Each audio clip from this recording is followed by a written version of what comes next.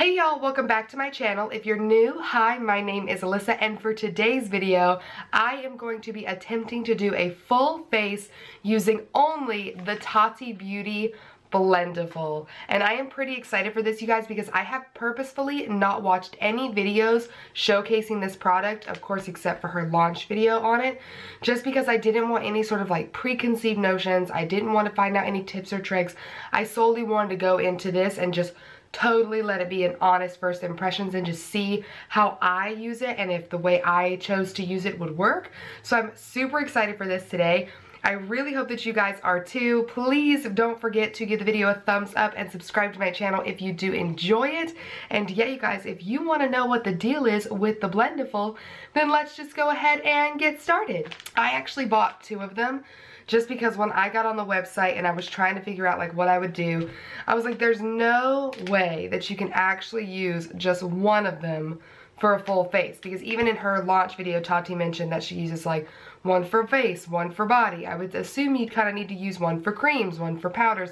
And so that's where, where my brain was going. So I did pick up two packs of them like you see here they are $18 a piece. So I will say one more thing before I get started is that with the launch of this product, I was actually a little bit disappointed because I have not watched another video of Tati since the launch video of the Blendiful.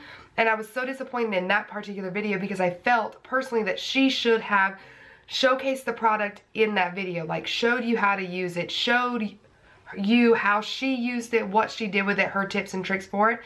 And like I said, I haven't watched any of her videos since then, but none of them specifically stated she was like using the Blendiful in the title or anything. And so I didn't click on them, but I'm just confused because I feel like you should show people before they're buying it or literally maybe like right on launch day or something like that how you expect them to use this product to provide best results. That's my personal opinion. I know some of you may not agree. If she has posted a video and it was hidden in one of her most recent videos, let me know down below and maybe I'm just wrong and that would be totally fine. I will say that the packaging it came in is really nice. I do like it. I think the name is adorable. I like the black with like the little like hidden Tati Beauty at the top. And then we've got like the bronze writing. And it says that you got one Blendiful and one Baby Blendiful in there. So it does come with a big one and a little one. On the back it just says Blendiful again. It gives you the cleaning instructions. It says, uh, what does it say? No harsh lines, XO Tati. And this product is cruelty free, vegan, and yeah, oh, it is made in China. Interesting. So it says that this is machine wash and dry in a delicate laundry bag or gently hand wash in warm soapy water. Rinse thoroughly and blot dry. Do not bleach and do not dry clean. So don't do that. So you peel off the little tab right here. And then, oh, okay, so this is the little baby Blendiful. It's very soft, wow. Interesting. And it has this little thing where you can, you know, like hold it on your little finger. It's very soft and kind of like puffy. It's cute. And then you have the bigger Blendiful that looks like this. Again, very soft. This one is softer and more squishier than the other one. The little baby Blendiful is more dense. And again, this does kind of, so you can pat it on your face or hold it on. It just looks like this. Yeah, I'm interested to see how it works. It's huge. Like, do you see this?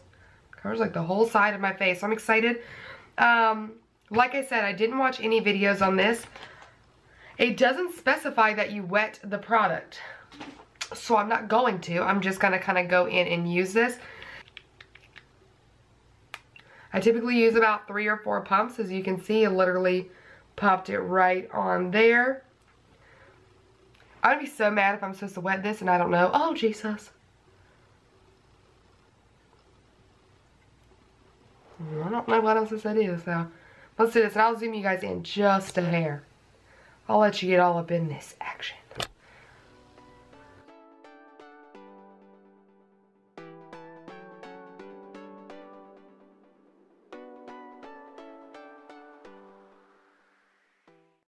Nothing looks funny or different. And you can see where like it looks now that I have used it. Like this part up here looks kind of wet.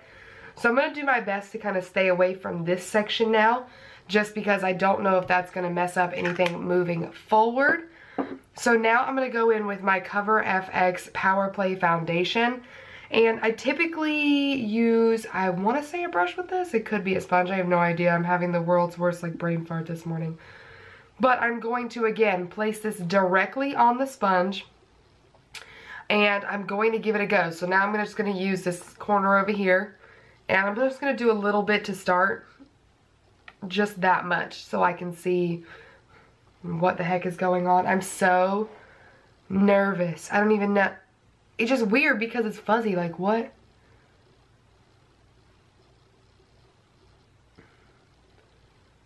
Is it a rubbing? Is it a patting? What?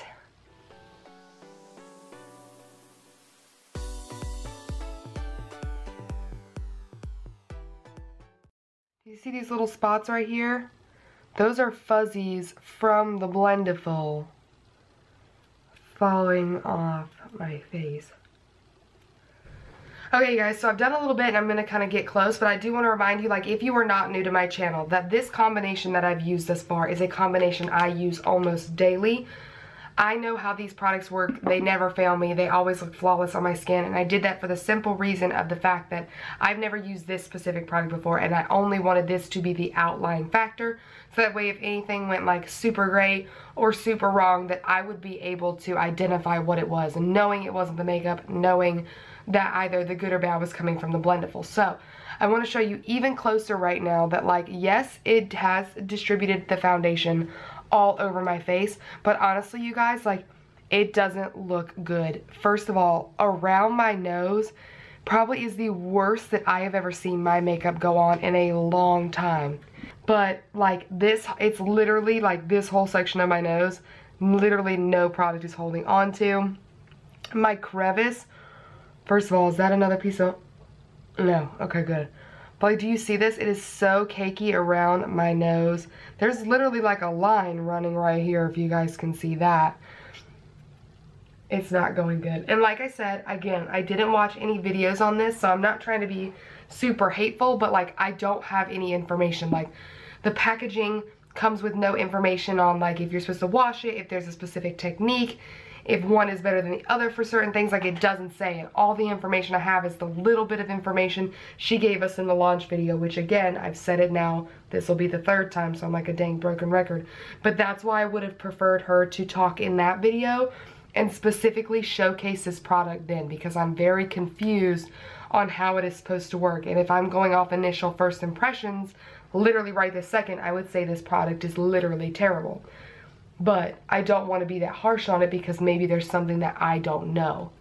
So I actually do want to try a little bit of contouring with this and I do have a cream bronzer that I'm going to utilize for this just because I want to try it in as many ways as I possibly can. So I have the Chanel, um, what is this called? Sol de, whoa, Soleil Tan de Chanel bronzer I'm stringling and I love this stuff. It's so great. I love to use it in the summertime. So I'm going to take the other corner of my Blendiful. I'm going to go ahead and bend it up like this. And I'm going to dip into this product just like that. If this leaves fuzzies in there, I'm going to whack somebody. I'm going to put it like this and I'm going to begin to stamp this on my cheeks. What is that? What is that? What is that? What is that? A freaking fuzz. I thought my freaking product was funky and I was like, uh. So I'm just going to pat this. I don't trust the dragging method at all. So I'm going to pat this on my cheeks. I'm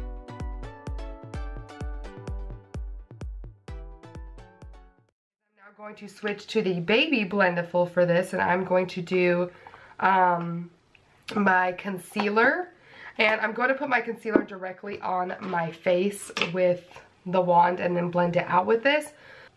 So I'm just going to dot it since I'm not exactly sure what it's going to do. And because I did put that bronzer down, I don't want to drag my concealer too far today. I will do a little smidgen right here, down the nose. God, let that add some coverage. And right here on the chin. Heck, I might as well do it on my little eyelids. And now I'm going to take the little baby Blendiful and I think what I may do is use the, the pointed tip of it to try and keep this a little bit more controlled and blend this out.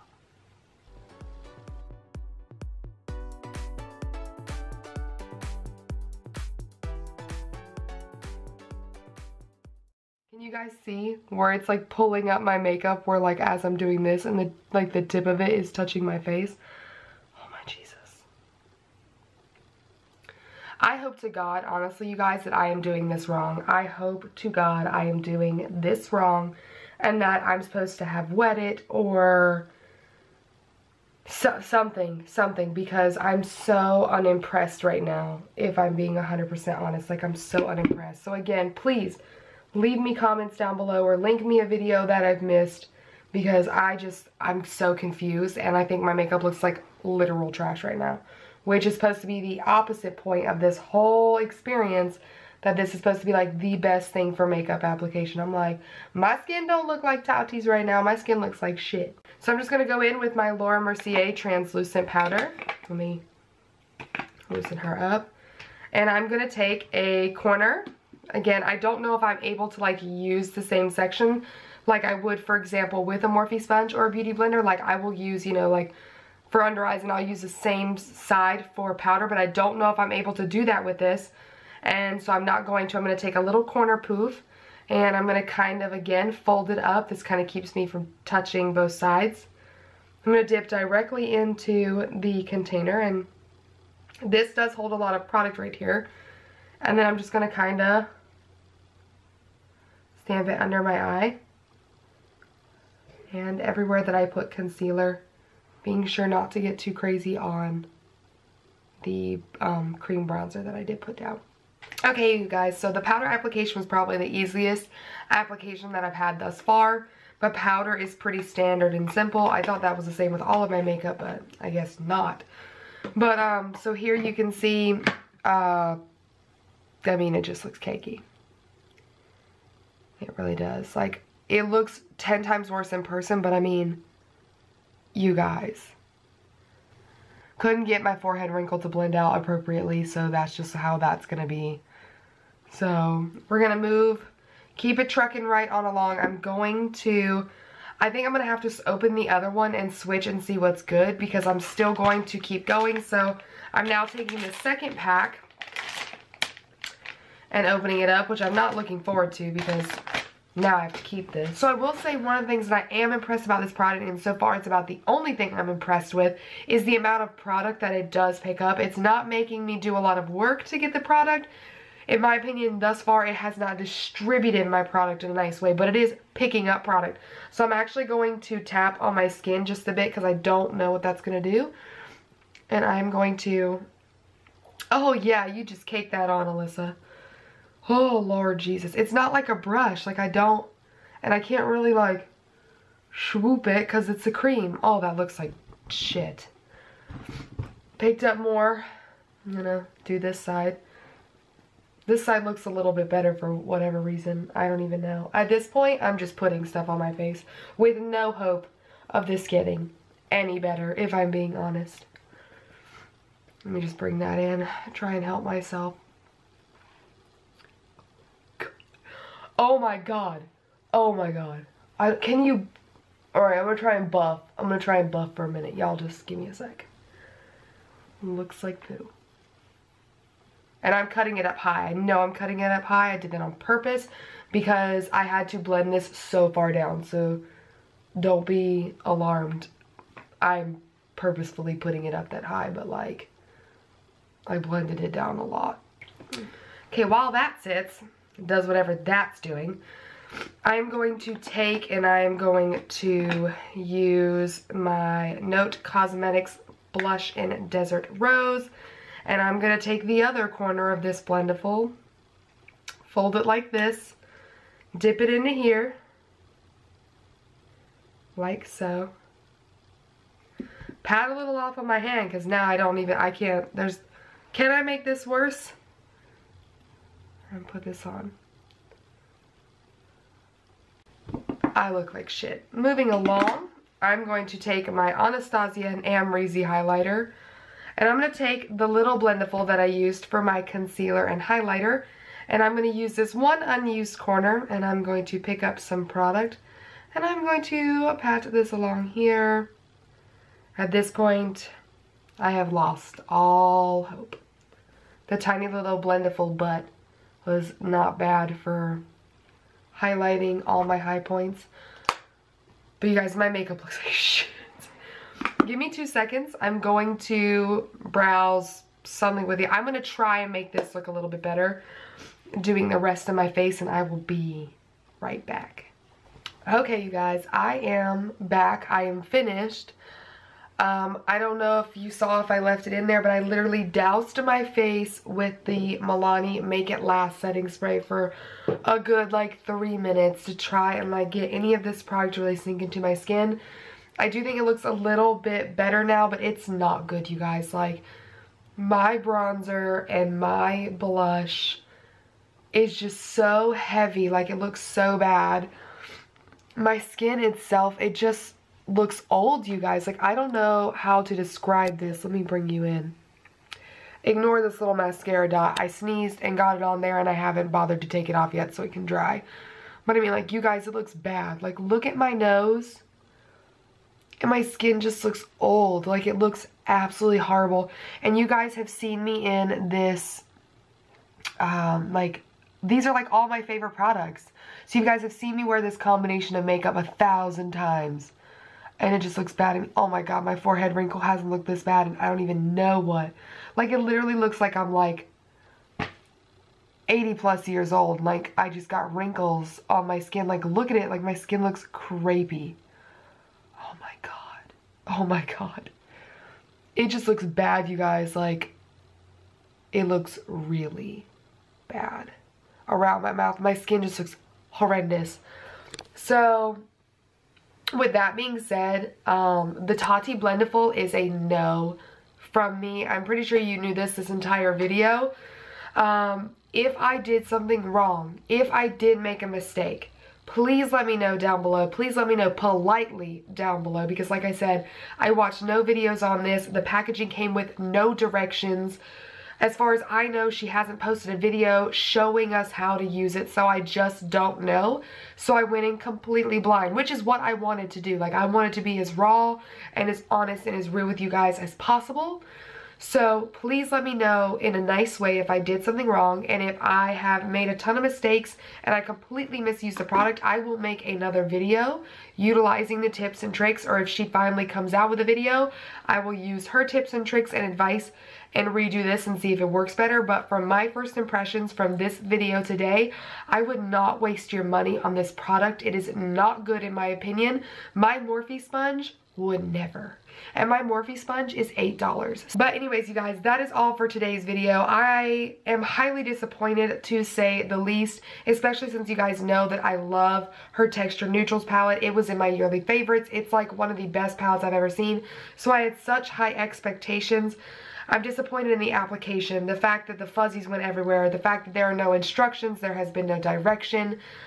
I'm just disappointed in the fact that I bought one, let alone bought two yeah, you guys, I'm just disappointed and I really hate that because I just I had high hopes like I said. But anyways you guys that is all. I really hope that you enjoyed this video and found it helpful. If you did please give it a big thumbs up. Subscribe to my channel if you haven't already. Hit that notification bell to be notified every time I upload a brand new video. You can also come follow me on Instagram at Alyssa and Pope and I will catch you in my next one. Bye